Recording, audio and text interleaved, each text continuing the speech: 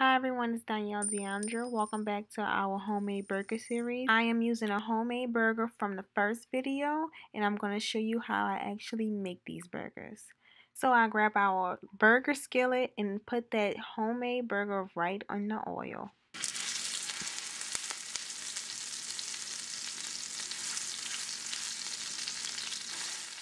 I know you're probably wondering why I am smashing the patty. The reason why I'm smashing the patty is so it can get out of that form. So when I take it out of the plastic bag, it's usually in a circular form. Well, I want it to be flatter so the meat can cook faster.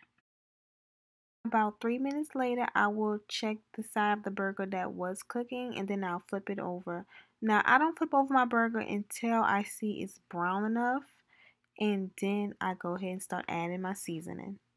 Yes, you'll see me smashing this burger throughout the entire video.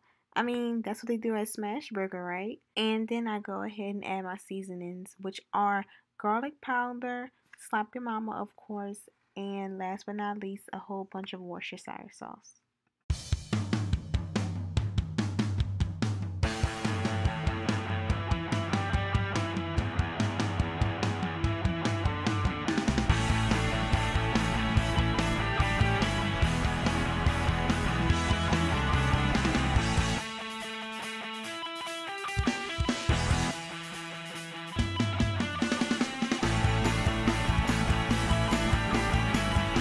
If you watched the first video, yes, I added Worcestershire sauce in the frozen patties, but then I also added to the burger as it's cooking. So as you can see, I continue to smash and then I checked to see if it was brown enough, but it wasn't.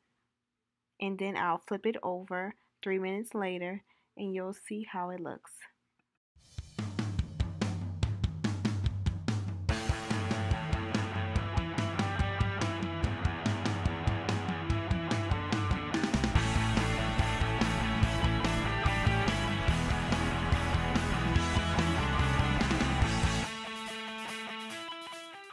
A little bit more seasoning.